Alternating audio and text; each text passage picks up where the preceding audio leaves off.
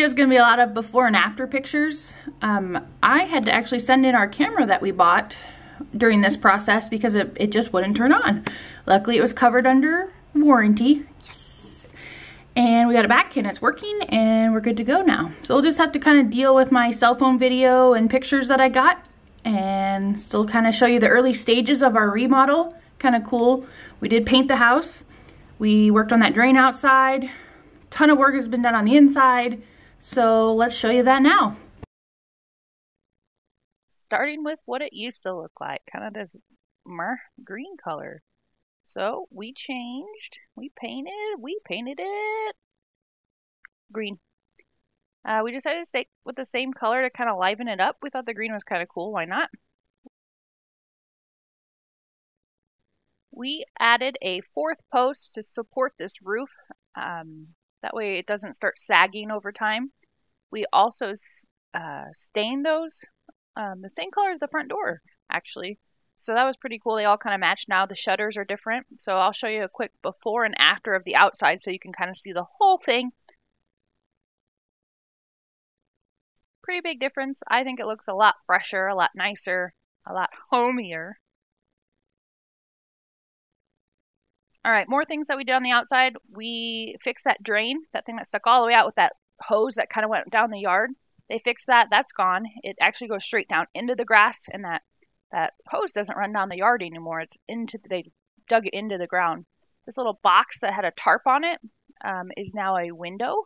It's actually the back picture, the back window on this picture. And then the inside, look, just a window now. Richard helped us fix the soffit. That's that flat part right there under the roof that looks like it's fallen down. You got that all patched up, fixed up, looks real good. Big shout out to Josh's friend Levi and his son Lyric. They actually redid the roof for us.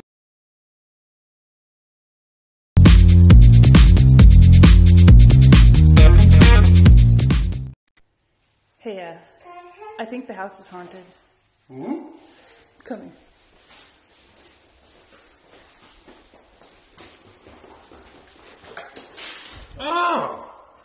What's that?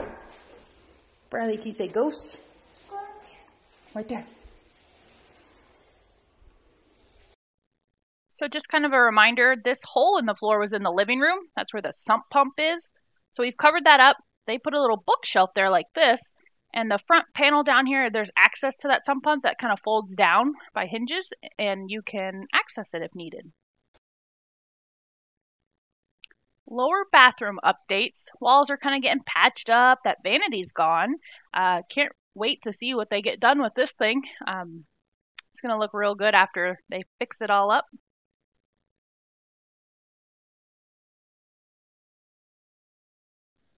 Upstairs bathroom. This place was a hot mess express.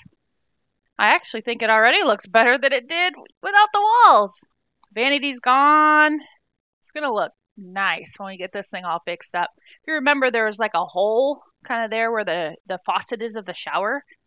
And just needed some good updating. So we'll see what they get done with this thing.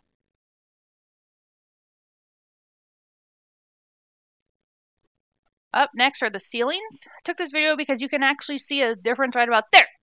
Uh, where the popcorn has been scraped off and where it hasn't. So we're getting rid of all those popcorn ceilings and retexturing them. Hey, guess what? Chicken butt!